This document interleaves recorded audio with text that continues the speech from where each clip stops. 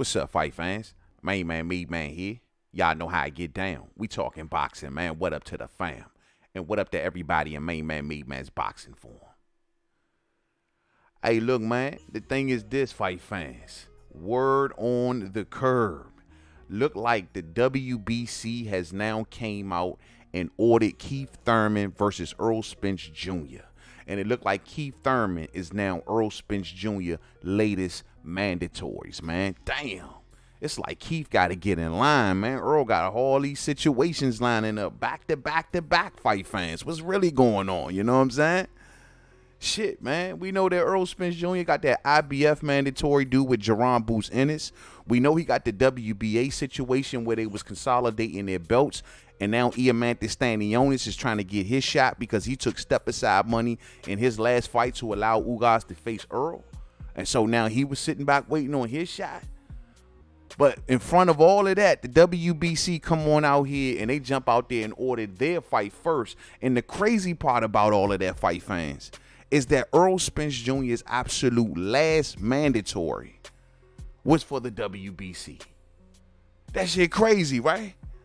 It's like, damn, how the heck, with all of those situations playing out, that the WBC, Errol's last mandatory, which was versus Danny Garcia, how did that get in front of everything else? Everything else. It's amazing, fight fans.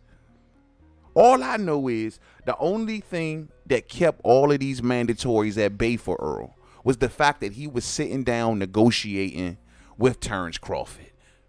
I mean, as the outside observer, y'all, I mean, it makes me wonder did, did PBC stall out Terence Crawford only to have Errol Spence Jr. land with Keith Thurman? Was that the intentions from the beginning, fight fans? Why do you say that, main man? I got Keith Thurman running around all year long, fight fans. Talking about some, he was told that he was going to be facing either Errol or Terence. I got the WBC pulling this crazy maneuver right here, jumping in front of all of these situations, right? How did that happen? Now we know that W that Keith Thurman was the former WBC champion, and yes, he did relinquish his world title, and perhaps he was promised a shot. But however, he still went through eliminators in order to get back to that shot. He didn't get an immediate shot, so I don't know what kind of arrangement that would have uh, uh, been.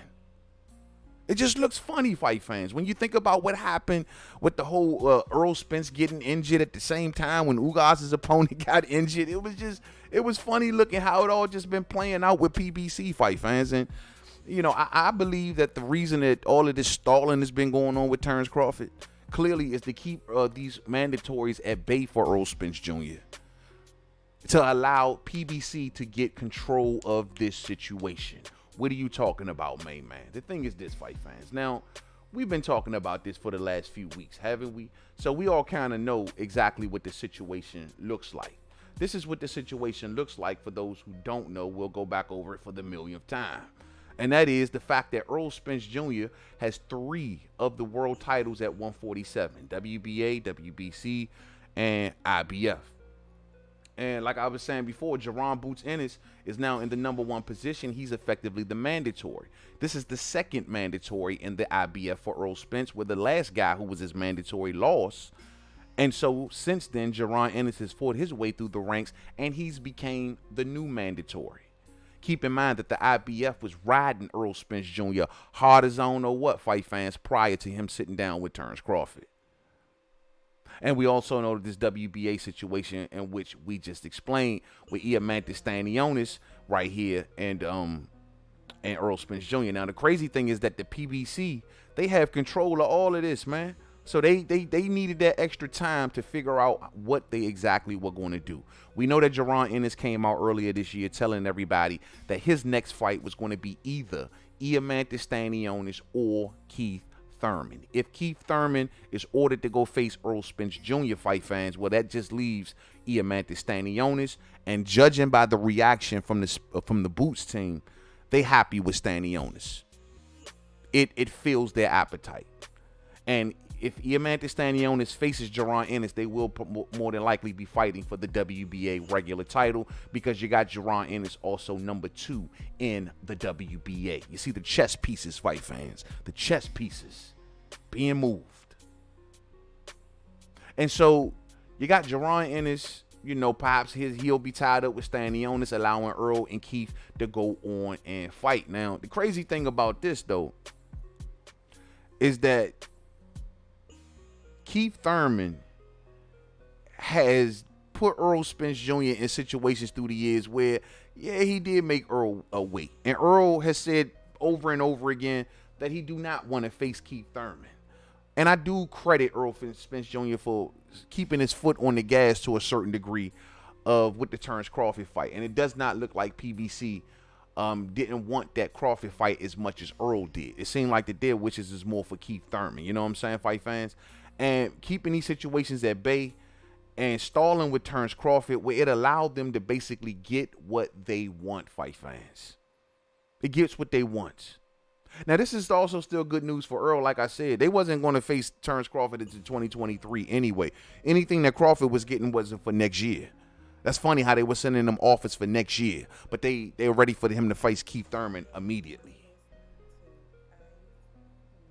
But it, it, it, seemed like since we were not getting that fight anyway, the, the Terence and Errol fight, shit, I'm down for the key fight now.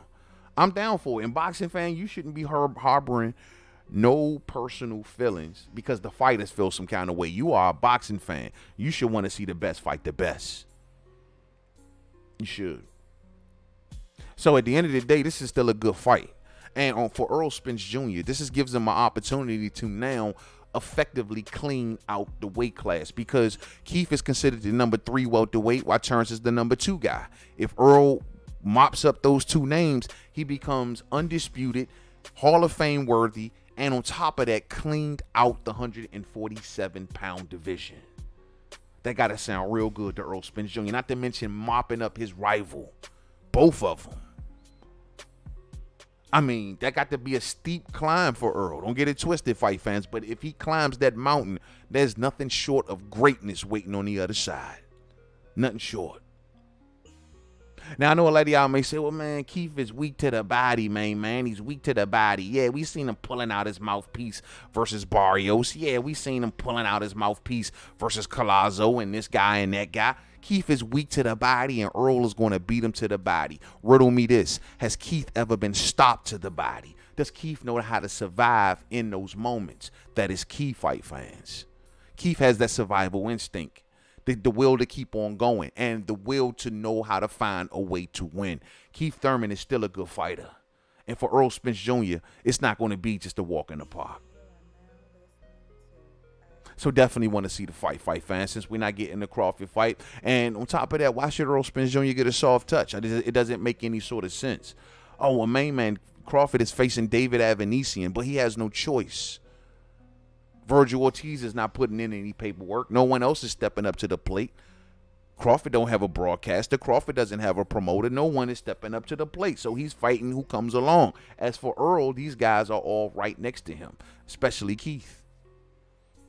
So it's no excuse why he shouldn't go and due other things, especially take soft touches or whatever, especially when you got Ennis who's do a mandatory shot. You got Keith Thurman right there on his side of the street. Why not take a good fight? Give us the good fight. That just comes with the territory, fight fans. Y'all want to call him king, but y'all don't want to ask him to do king things. It's called cleaning out a class. No one ever said it was going to be easy.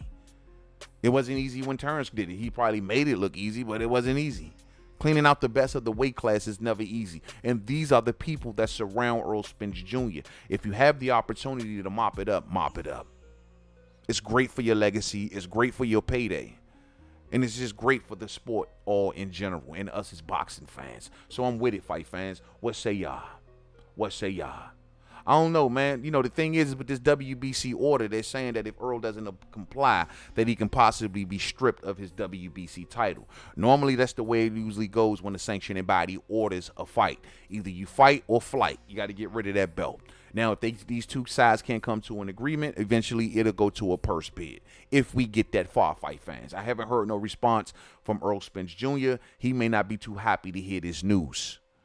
PBC has now maneuvered Errol, Errol into a corner where he may be forced to face Keith Thurman. And Keith Thurman told us prior to his last fight, oh, this is a final eliminator. This is a final eliminator.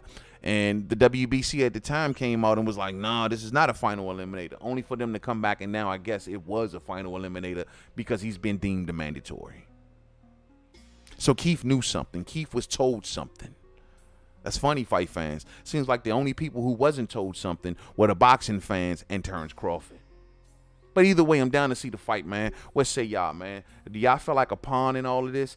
I don't feel too bad because I still really believe that we're going to get the fight next year between possibly the winner of Spencer and Thurman uh, versus Terence Crawford because A, there's nowhere left to go, but they couldn't invent a, new way to go, right, fight fans? Jaron Boots Ennis still sit right there. But more than likely, there's nowhere left to go. And truth be told, it gives PBC more time to find the money, hopefully needed to get that fight over the finish line. We don't want to hear no excuses and run into the same problems that we've had, fight fans. What say y'all? We'll see how it goes, man. Let's keep our eye on everything. It's a lot of moving parts here.